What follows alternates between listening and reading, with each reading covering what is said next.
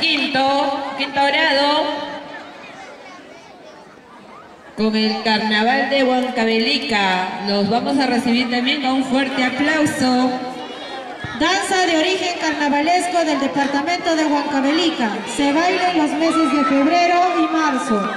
Es época de máxima alegría, donde el carácter festivo del hombre peruano se pone en manifiesto. En este mes no hay lugar para la solemnidad, ya que la peculiar fiesta introducida ya hace siglos por los españoles a nuestras costumbres, se jacta de ser la más colorida y alegre de todo el calendario festivo, en donde los jóvenes de edad casamentera salen en comparsas luciendo sus mejores trajes, realizando cánticos a la vida y al amor, pues es la fe ideal para enamorarse. Muy bien, cuando la misma indique, ya, me dicen que ya.